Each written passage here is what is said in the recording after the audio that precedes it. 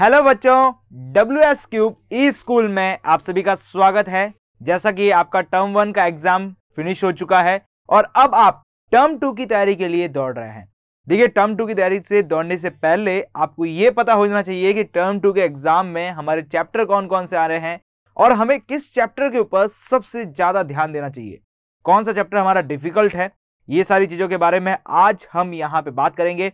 और W S cube E school आप सभी के लिए इन सारे चैप्टर के लेक्चर्स आपके पास प्रोवाइड करा रहा है। यदि आपको वो वीडियो देखने हैं तो आप डिस्क्रिप्शन में मिले हुए लिंक के ऊपर जाके क्लिक कर सकते हैं और उस वीडियो से अपनी प्रिपरेशन को बहुत ही अच्छे ढंग से कर सकते हैं। अब देखिए कौन कौन से चैप्टर्स हैं जो हमारे टर्म टू के एग्ज़ाम के अंदर आने वाले हैं, जरा उनके ऊपर देख लेते हैं।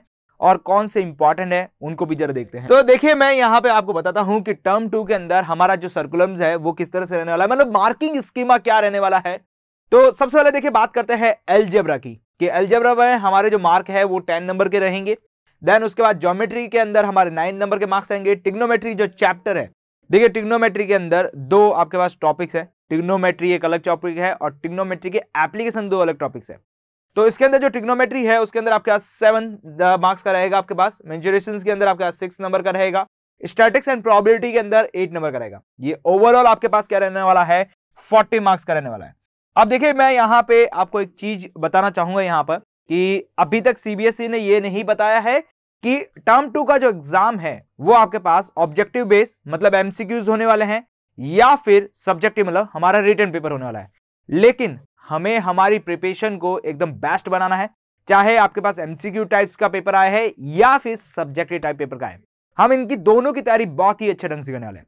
और इसी के लिए W S cube E school आप सभी के लिए लेके आएगा टर्म टू के एग्ज़ाम से रिलेटेड सारे क्वेश्चन बैंक क्वेश्चन बैंक मतलब यहाँ पे आपको बहुत सारे क्वेश्चन मिलने वाले हैं, जिसके ऊपर आपके एमसीक्यूज बेस भी क्वेश्चन होने वाले हैं। इसके साथ साथ सब्जेक्टिव बेस भी क्वेश्चन होने वाले हैं। देखिए, अब इन थोड़े चैप्टर्स के ऊपर भी थोड़ा गौर कर लेते हैं कि ये चैप्टर कौन कौन से हैं। तो सबसे पहले चैप्टर की बात करें तो चैप्टर नंबर आपके पास है यहाँ पर कॉर्डिडिक इक्वेशन फ़र्स्ट जो आपके पास टर्म टू का है, वो है कॉर्डिडिक इक्वेशन उसके बाद है आपके पास अर्थमेटिक प्रोग्रेशन तो देखिए कॉर्डिडिक इक्वेशन एक इजी चैप्टर है। अर्थमेटिक प्रोग्रेशन भी आपके पास क्या है? एक इजी चैप्टर है। तो ये दोनों आपके पास बहुत इजी इजी चैप्टर दिए गए हैं यहाँ पर। और उसके बाद चले ज्योमेट्री पार्ट के अंदर। तो ज्योमेट्री के अंदर आपके पास देखिए सर्कल है और कंस्ट्रक्शन है। देखिए सर्कल के अंदर आपके पास दो तीन थ्योरम्स है, जो कि आपको ध्यान रखनी है, और कंस्ट्रक्शन के अंदर आपको डायग्राम बनाना आना चाहिए। यस तो आपके पास देखिए लाइन डिवीज़न है आपके पास, यहाँ पर ट्राइंगल मेकिंग है। तो ये सारी चीज़ें हैं आपके पास। तो बेसिकली यहाँ पर बात करें तो ये दोनों भी आपके पास इजी है, और ये दोनों चैप्टर भी आपके पास इजी है। अब देखिए टिग्नोमेट्री के अंदर आपके पास बेनिफिट कर दिया। टिग्नोमेट्री जो आपका चैप्टर था, जो सबसे इंपॉर्टेंट चैप्टर था, वो आपको टर्म वन में दे दिया। तो टर्म टू में सिर्फ़ केवल और केवल एप्लीकेशन दिया। और एप्लीकेशन के पार्ट के अंदर तो बस आपको बस एक ही फॉर्मूला आपको याद होना चाहिए। और वो कौन सा है? तो उसका भी मैं आपको बता देता हूँ यहीं पे। वो है आपके पास P B P H H B ये क्या चीज़ है? पंडित, बद्री, प्रसाद, हर हर बोले। बस आपको इतना सा ध्यान रखना है, आप पूरे इस चैप्टर को कंप्लीट कर पाएँगे। बस, ये आपके पास है क्या? तो ये टिग्नोमेट्री रेशियोज के फॉर्मूला है। और इस टिग्नोमेट्री रेशियोज के फॉर्मूले के ऊपर ही आपके पास ये जो चैप्टर है, वो है। तो बेसिकली बात करें तो अभी तक हमारे पास सबसे इजी चैप्टर है। अब ध्यान किस पे रखना है? तो ध्यान आपको इसके ऊपर रखना है। सरफेस एरिया एंड वॉल्यूम ये कुछ बच्चों के लिए डिफ़िकल्ट हो सकता है, कुछ बच्चों के लिए आपके पास इंटरेस्टिंग हो सकता है चैप्टर तो देखिए, ये चैप्टर हमारे लिए बहुत ज़्यादा इंपॉर्टेंट रहेगा। इसमें क्वेश्चन अच्छे टाइप के बनते हैं। तो इसलिए ये हमारे लिए इंपॉर्टेंट है। एंड स्टैटिक्स स्टैटिक्स से भी आपके पास क्वेश्चन अच्छे बनते हैं। देखिए देखिए क्वेश्चन की बात करें स्टैटिक्स से रिलेटेड तो स्टैटिक्स के अंदर क्वेश्चन सॉल्व करना आपके लिए डिफ़िकल्ट नहीं होता है। क्वेश्चन के अंदर कैलकुलेशन थोड़ी सी डिफ़िकल्ट बन जाती है। क्योंकि जब आप यहाँ पर मीन निकालते हैं मॉड निकालते हैं, और आपको एक स्पेसिफाई आपको बता दिया जाता है कि आपको मीन उसी टर्म्स के अंदर निकालनी जैसे मीन निकालने के हमारे पास तीन तरीके होते हैं। अब आपको बोल दिया कि मीन आपको सिंपल तरीके से निकालनी है तो फिर आपके पास थोड़ी कैलकुलेशन डिफ़िकल्ट हो जाती है। तो बेसिकली इसमें प्रॉब्लम कहाँ आती है? कैलकुलेशन से रिलेटेड आती है।